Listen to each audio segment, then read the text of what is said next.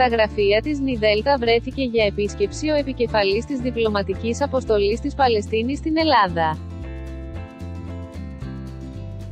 Συγκεκριμένα, ο γραμματέας της Πολιτικής Επιτροπής της Νιδέλτα ΚΑΠΑ, Γιώργος Τεργίου και ο γραμματέας Διεθνών Σχέσεων και Ευρωπαϊκής Ένωσης της Νιδέλτα και βουλευτής Ερών ΚΑΠΑ.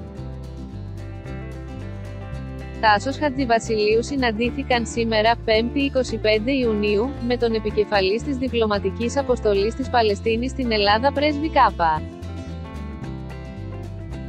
Μάργουαν Τούμπαση, στη συζήτηση, επαναβεβαιώθηκε η στήριξη της Νέας Δημοκρατίας στις ειρηνευτικές διαπραγματεύσεις με στόχο τη λύση των δύο κρατών που θα συμβιώνουν ειρηνικά, σύμφωνα με το Διεθνές Δίκαιο και με τις αποφάσεις του Συμβουλίου Ασφαλείας των Ηνωμένων Εθνών. Πρόκειται για τη μόνη επιλογή, η οποία μπορεί να απαντήσει ικανοποιητικά στα διαχρονικά αιτήματα των Παλαιστινίων για κράτος και του Ισραήλ για ασφάλεια.